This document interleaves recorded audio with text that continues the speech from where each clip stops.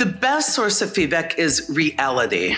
Okay. So the best motivator is reality. reality. So if you want your people to have a clear picture of what works and what doesn't work, what they're doing that helps or hinders, what they're doing that is um, successful or not successful, or leads to their happiness or not their happiness, they have to have a direct relationship with reality. Reality is the best source of feedback.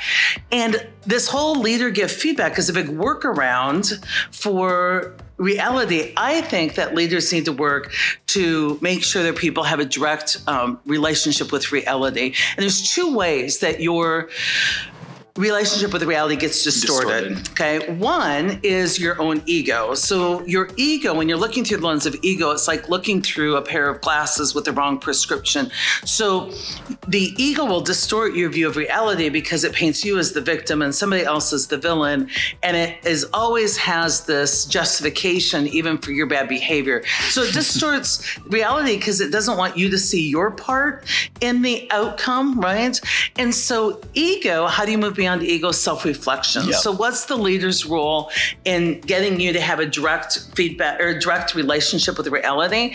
Is not giving you feedback on behalf of reality. it's like helping you self reflect on that reality. Yeah, on yeah. that reality. and so a lot of people are like, um, reality called and, you know, give gave me some information to present to you and in the form of feedback. And that's probably my main problem with feedback is like, why do we go through the middleman called leaders who corrupt it again yeah. with their own bias and with their own, you know, because most leaders give feedback on my view of your approach or my view of your attitude or my view of, and that's all completely, now it's like triple bias, bias yeah. right?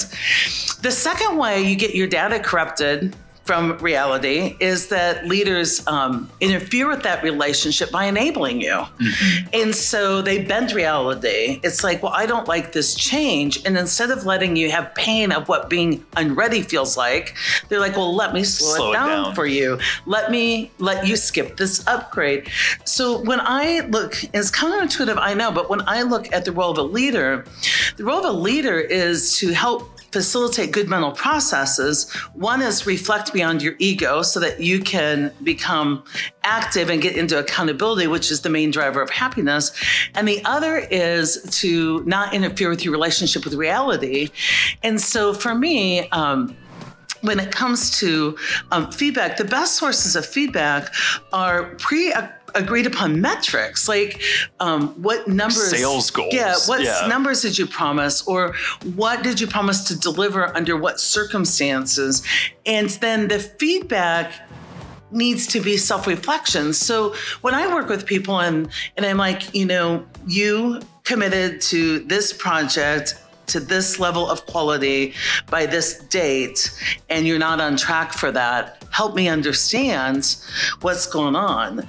People will go, Well, you don't understand, priorities changed. Now, leader's role is not to give you feedback about that, it's to facilitate good thinking. Given that priorities are changing, how can you be on track? Mm-hmm. The problem is, is that leaders tend to go in to give you feedback about how you need to get better at changing priorities instead of With their strategies exactly, and their yeah, solve exactly. it for you. And they get all in your business. and then once the ego, once you're toggled down, any strategy a leader gives you is like called not going to work, right? Do not understand. Tried that before. And people get really miserable about it. So that's all that I say about the best motivator, the best motivators reality.